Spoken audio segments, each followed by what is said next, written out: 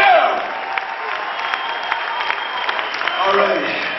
He's a Solomon and Shake.